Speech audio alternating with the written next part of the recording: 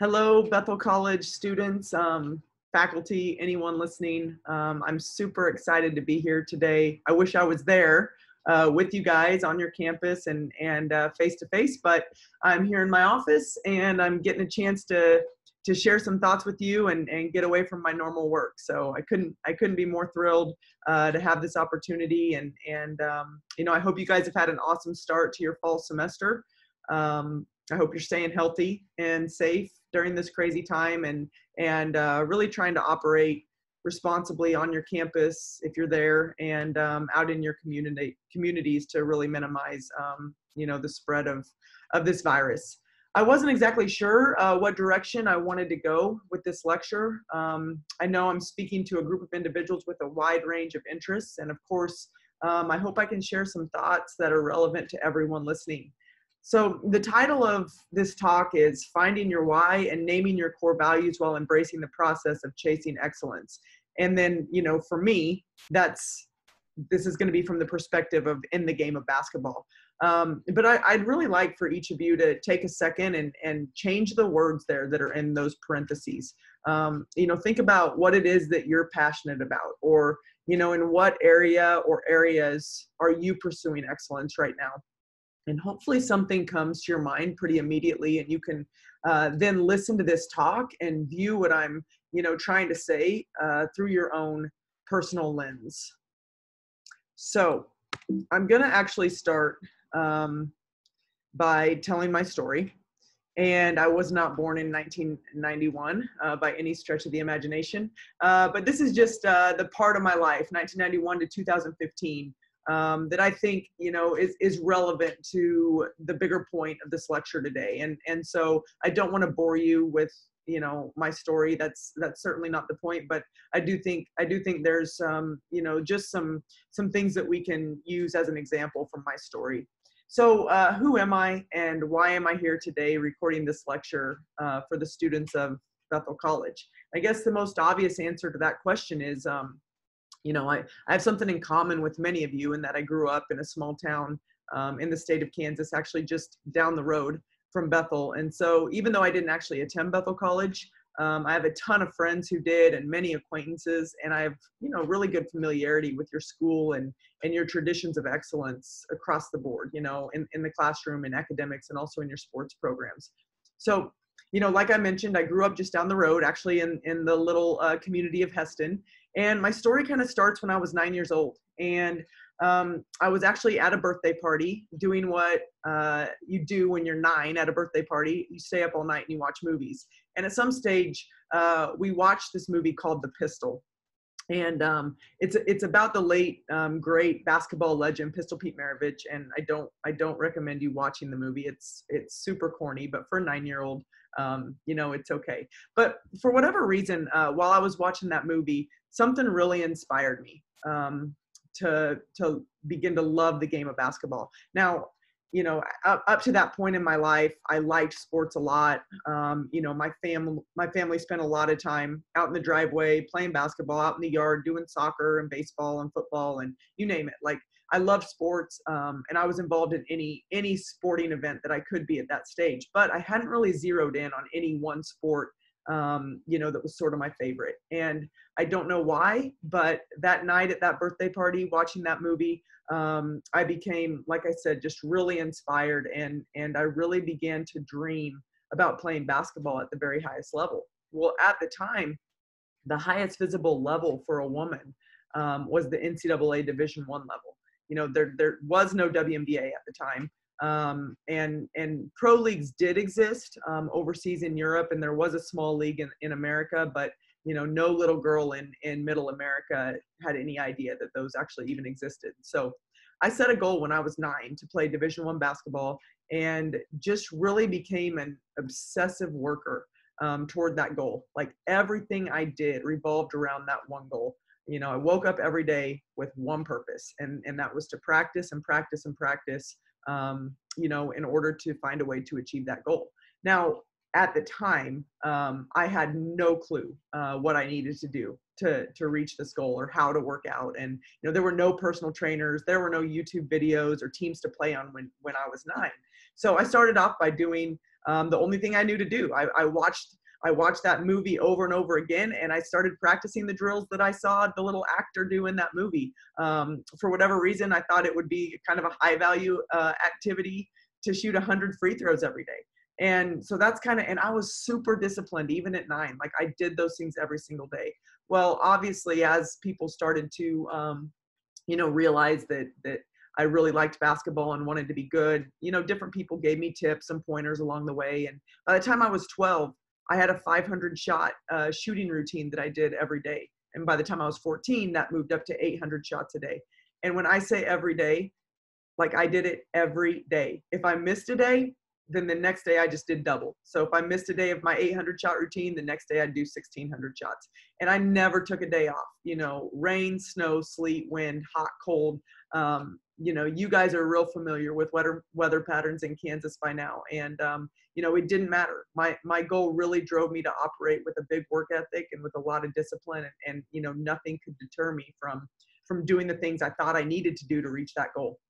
Now that was my big goal. My big goal was was being able to play um, Division One basketball, but um, as you can imagine, I had a lot of shorter term goals along the way as well.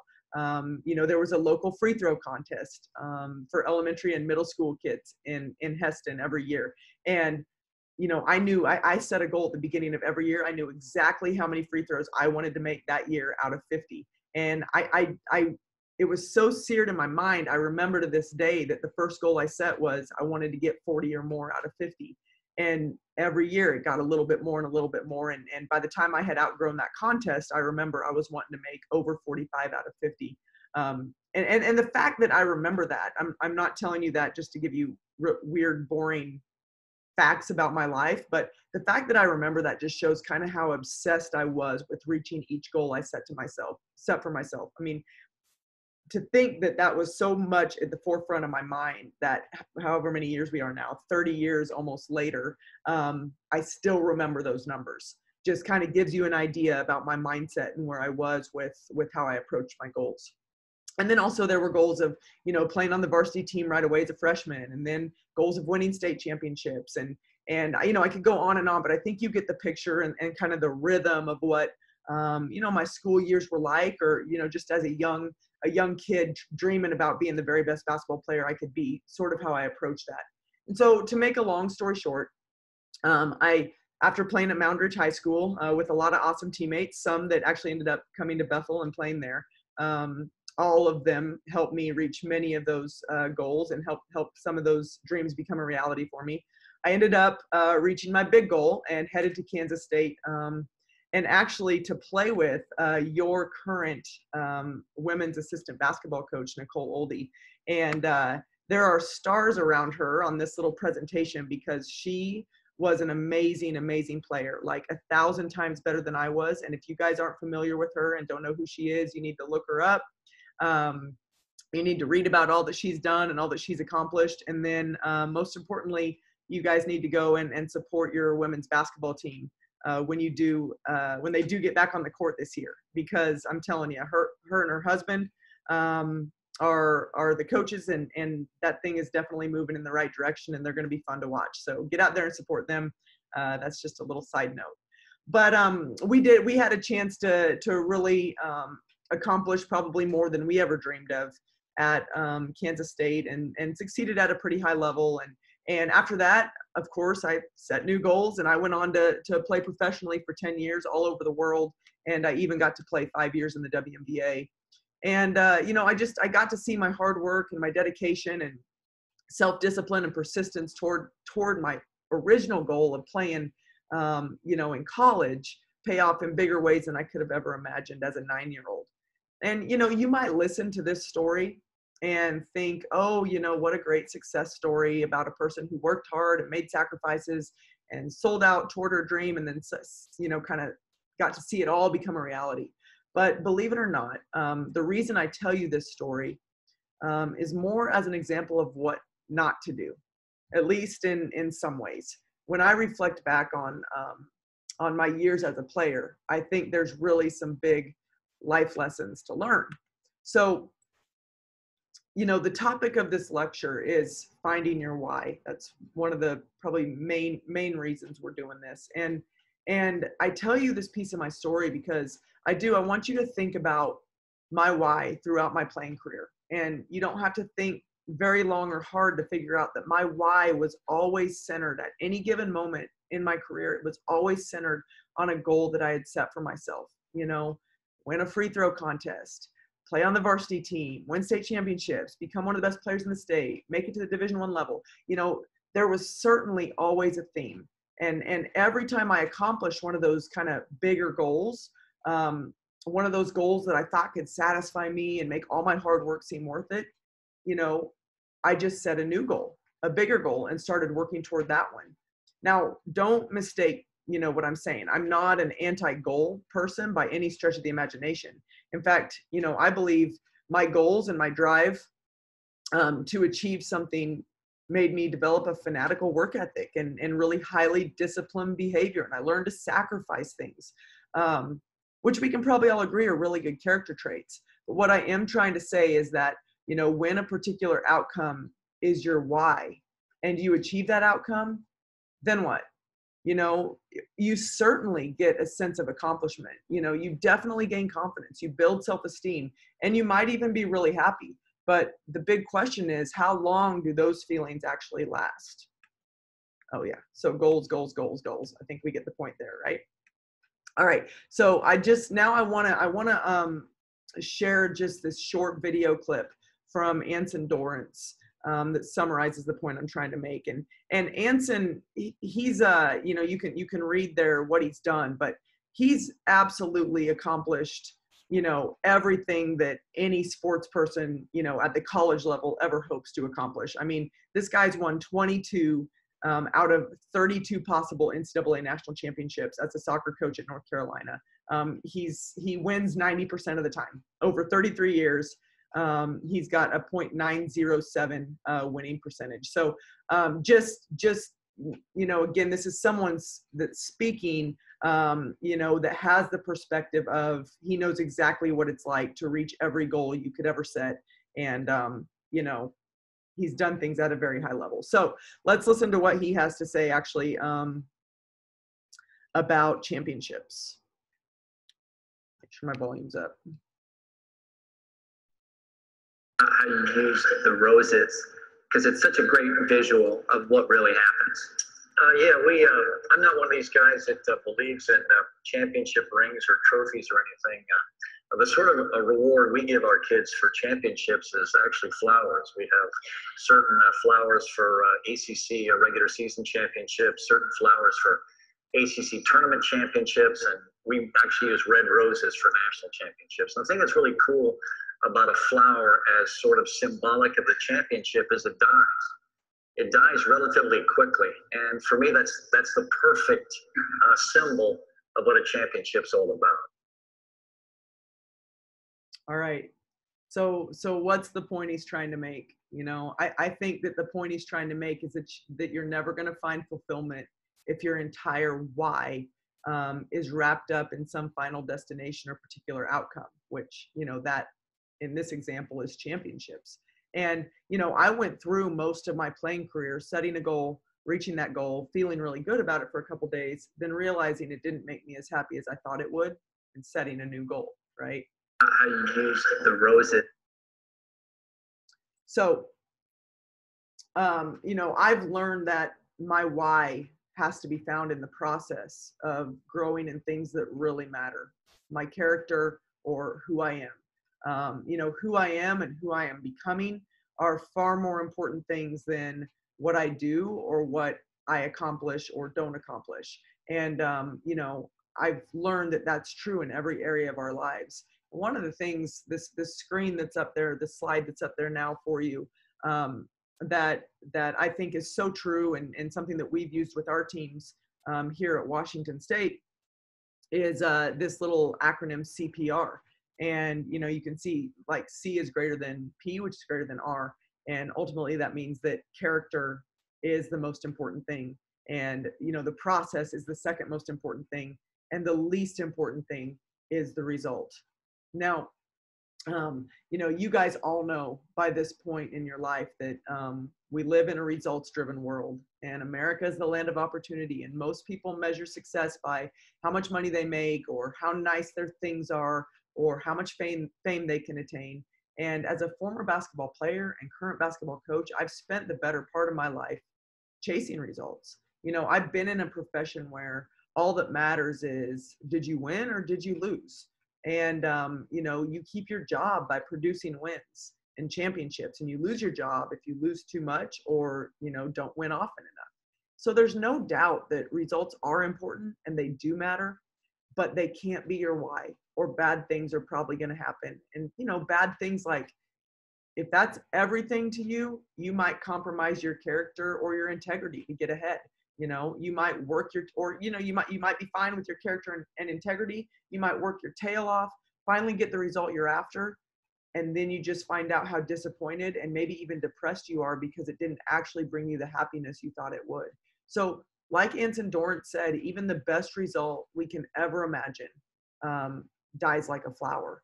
And maybe there's some results that take a little longer than others to die but there's no result um, that has the ability to fulfill us. Um, even though many of us spend a good majority of our lives thinking that there is so I have one more video clip for you, and um, this is from the same panel and conference as as this as the last one of, of Anson Dorrance. And um, these four guys have all won at a insanely high level um, multiple times. Like they are the definition of success in the sports world.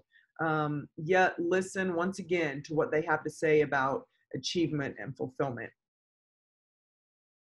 So we'll close with two questions, and they're very short. Uh, I'm going to ask you to fill in the rest of the sentence. Okay, each of you will do this. The truth about achievement is working to be the best that you can be. Perspective. It's ephemeral. I don't know what ephemeral is, but I know that it's. It's something to do with flowers. I, it's um, achievement isn't achievement isn't what you think achievement is. And and fill in this sentence the key to fulfillment. Um, Self worth, have the right priorities. I think it's all about connection. And I would say the same love the people around you. Thank you, guys. I know there's nothing uh, more difficult than convincing young, energetic college students with the world at their fingertips that landing your dream job or your dream spouse or your dream fill in the blank won't actually satisfy you the way you think it will. But that's kind of my goal for this lecture. And I want to spend the rest of the time uh, talking about what I believe is a fulfilling why. And hopefully, you know, I can give you some ideas for how you might begin to think about your own why and your own set of core values and incorporate those into your life as you move through college. Uh, some of you are just at the start of that journey. Um, and then some of you are, are kind of closing in on the finish line at Bethel and are already thinking about what's next after graduation. And, and I hope, I hope all of you, um, you know, can really begin to think about where you're at right now and, and uh, who you really want to be and who you want to work to become um, throughout college and then, and then on in your career and in your personal life.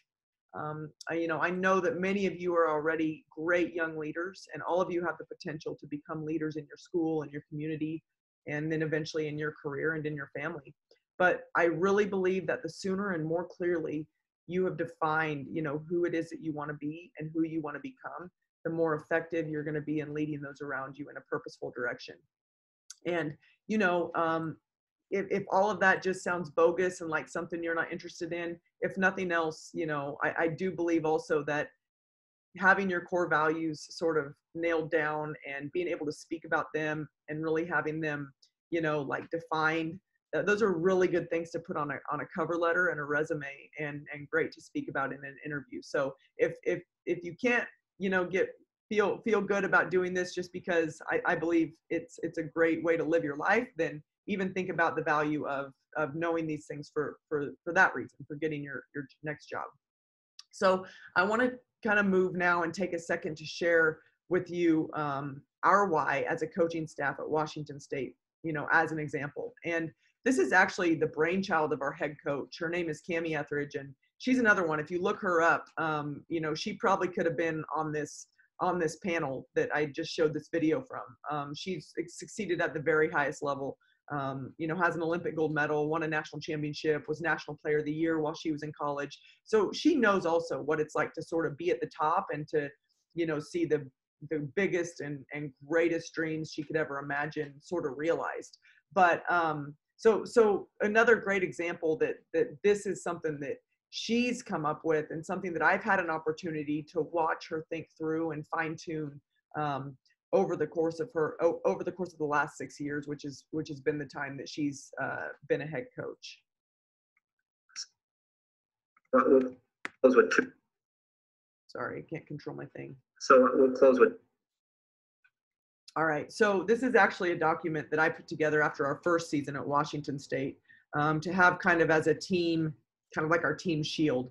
And uh, you can tell that I'm certainly not a graphic designer by any stretch of the imagination, um, but hopefully my poor skills at making something that is cosmetically appealing uh, won't distract you too much from the content and the point. But as you can see, um, we wanted to make sure that we defined our why. Uh, we wanted to nail down, you know, what is our motivation behind all the work that goes into leading a team to achieve things that are really, really difficult to achieve in a highly competitive arena. And even though the goal or the reason, you know, to be perfectly honest, that we're here at Washington State, you know, we're hired to turn this program into a winning program. And there is motivation in seeking success and seeking after the rewards of championships on the court and the rewards of, you know, seeing this this ship sort of turn around and, and move in a good direction and of gaining the respect of our peers and the sports world by accomplishing those big things that we hope we can accomplish but we know that the rewards of actual championships can't even begin to compare to the rewards of using the day to day process of striving after those things and striving after excellence uh, to build character. So, if you read our why statement, you know, to use the process of striving for excellence on the court, in the classroom, and in the community as an avenue to grow the individual character traits that are necessary to succeed in all facets of life the physical, mental, emotional, and spiritual and just to have a transformational and uh, growth mindset um, you know you can see that we want to view success not as winning championships or becoming a winning program but as embracing the day-to-day struggle of reaching for those things and reaching for greatness because we know that in doing that we're going to grow the things that really matter. Which takes us to the next uh, slide like what are the things that really matter that we think really matter? And um, you know what are the things that don't die like a flower? Like if we're saying we know a championship that's going to die. We know a big win that's going to die. What are the things that don't die? If the ultimate goal isn't those championships and wins what is our ultimate goal? Well for us it's championship character. And this is where the rubber actually meets the road. Exactly what is it that we're trying to to grow and at what ways are we trying to get better you know as we go through the difficult pr- process of striving day after day for the world's definition of success? Well you can see that we pointed to five core values or character traits that we believe are foundationally important for living life in a way that moves us all toward a higher purpose. And again these are values that touch every area of life. These are character traits that aren't only specific to sports or athletes you know, we know that all of our players, um, they're going to have a life or a job after basketball. They're going to have a spouse and they're going to have families and they're going to have friends and coworkers. And we believe that if they learn to be respectful and trustworthy and competitive and tough and accountable, you know, they're going to make great mothers and great wives and friends and career women and coworkers and on and on. They're going to have deep and meaningful relationships and they're going to affect the world in a really positive way. Now, you might look at these core values, and, and this is what I hope you can think through like, and maybe you only have three, maybe you only have two, like maybe you've got 10, I don't know. But, you know, even you probably look at it and say, well, how can compete have to do with anything besides um, sports or anything besides athletics? And, and if you look at how we've actually defined that word, um, I think the answer is right there. Like, we're talking about being better tomorrow than you were today. We're just talking about competing with you yesterday. We're talking about never being satisfied with, you know where you're at and always wanting to grow and learn and and just get better and so that's why you know we define these things because you know if you just threw these words out every player would have it and ask each player to write down what does that word mean to you everyone would have a completely different definition for those words. So we actually come up with these definitions together with the team and we figure out why it is that we're defining them that way. But that's that's kind of another uh, tangent. We'll keep we'll keep moving. And so um, the last page is the how and this really just became our team our set of team rules in a way. And again like the neat thing about this is they aren't just a list of rules that the coaches came up with and then told the players here are your rules this is what you need to follow. If you follow them you won't be in trouble and if you don't follow them you will be in trouble. No these are actually you know behaviors that the players and the coaches brainstorm together and their behaviors that we all agreed are evidence of our five core values. We said man what does it look like to be respectful in the classroom? What's it look like to be respectful in the community and in public? What's it look like to be respectful in on the court and athletically and in the weight room? And so we took those three big areas of their lives and and really hashed out this is what respect looks like this is what compete looks like this is what toughness, accountability, trust, on and on and on. And we came up, and obviously this isn't, you know, by any stretch of the imagination, a, a comprehensive list. Um, it's it's more generalized, but um, you know, these are the things that that we've all agreed. Man, this is how we're going to behave in in these three arenas of our life. And you know, you might be thinking at this stage that, well, this is all well and good, and you know it's kind of just a trendy thing to do right now because everyone talks about culture and you hear it from sports teams you hear it from businesses you know it's a word that gets tossed around a lot. And you know so far all i've done is basically told you about what our team culture is and, and how we've defined it. But but the question is what difference does this really make in the grand scheme of things? Like what difference does it make for our players individually? What difference does it make for our team as a whole you know a lot of sports teams and businesses you know you've heard it they worry about their culture and their and and they work on their culture but they do it for one reason and that's just to produce more wins or to make more money to be a more successful business or be viewed you know a certain way in the eyes of other people. And all of this defining and identifying behaviors and how we want to act as a team for us if we're not careful could just be another means to the end goal of winning games and championships like those businesses and other sports teams i just defined. And so then it just becomes once again futile and and and meaningless right?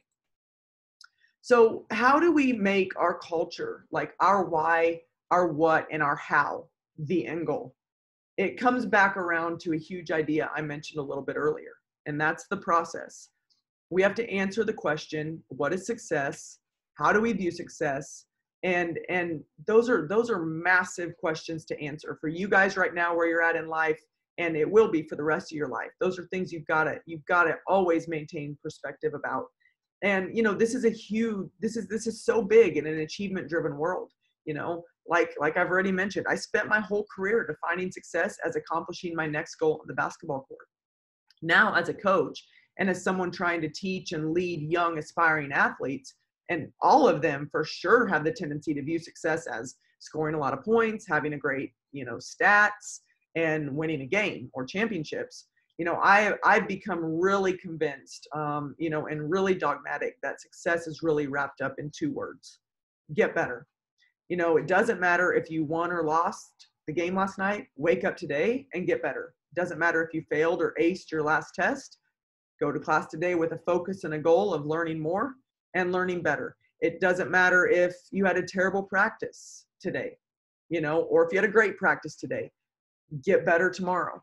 And you know the theme i hope you know you can hear a theme in those statements i just made that and and this is what i want you to hear. It doesn't matter what the result is or was whether it was good or bad. What matters is that you focus on the process of getting better and um, you know if you think back to our why statement we call this a growth mindset and you know there, there's a lot in that like it seems simple to say yeah a growth mindset but you know what we really mean by that is you know we acknowledge and we admit that man none of us walking on planet earth right now will ever be in our lifetime perfectly respectful perfectly trustworthy, perfectly competitive, perfectly tough, or perfectly accountable. If you take our core values as an example, you know, you could end any of those perfectly statements with with you know any big character trait that we aspire toward, right? Like every single one of us, you know, in our basketball program, every single one of us walking on this earth is on a journey um, to grow in those areas. And you know, hopefully for the rest of our lives because every new chapter even you know our players if you take them as an example take you guys after college like every new chapter um, will bring us more opportunities to work on on on those character traits and you know one of the greatest the greatest things that i found about you know living in a highly competitive environment and in a business where you know i do feel pressure for high achievement or for getting big results is that when you focus on the process of just trying your guts out to get better. It's really, really incredibly freeing.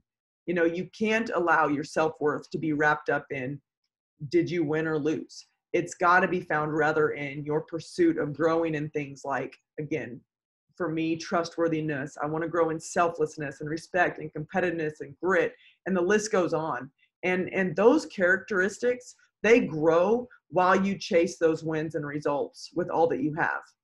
So kind of like this picture right here, you know, like success isn't about what you'll get in the end. So you're chasing that. You're you're chasing that trophy, right? Like you're pushing that rock so hard trying to get up that hill to get that trophy. But success is the strength that you're gaining in that process of going after that trophy and you know I, I, just i love i love the thought of that and i love the visual of that and um, you know I, I think again going back to what i was just talking about you know when you focus on that process and becoming strong and, and growing your character traits in that process of pushing that rock up that hill toward that thing that that you're trying to attain you know? You really become free from the anxiety and the emotional highs and lows that come with just being focused on the goal and on the outcome. So I really want to just encourage you today to, to take time and think about your why, like your why for being at Bethel College right now, your why as you move on to whatever is next. Like write it down. And instead of focusing on on on what you want to achieve, focus on the process of getting there, you know? And and like I said, I'm not opposed to goals. Like set big goals for yourself. They're, that's so important pursue your dreams have dreams have big dreams you know don't set the bar low so it's easy to reach set it high so that you have to reach and reach and reach and reach hard you know? Set it so high that you you're you're pretty much certain to fail many times before you actually um, succeed. And in those failures and disappointments become a better person you know? Grow in grow in your core values. Man there's no there, there's there's no better way to grow in in humility and courage and grit and work ethic and determination than to fail and fail and fail and fail. Man those things are just going to grow the more that the more that you're able to challenge yourself and put yourself in those sorts of situations. And you know i, I do i do just want to touch too because i know even in our why we, we talked about the spiritual side as well and and i think it's so important for for me personally to share you know that that this way of thinking like this process thinking a focus on on my character who i am and who i'm becoming it it actually it correlates so closely with my faith. And um you know as a christian i know that my ultimate purpose is to bring god glory by be, by becoming more christ-like little by little by little and day by day by day striving so imperfectly um, you know through every situation and every interaction to reflect god's character to the world around me and the people i get to interact with and you know, I will never arrive or do this perfectly either while I'm here on this earth. But getting better is still the mission and the focused um, focus.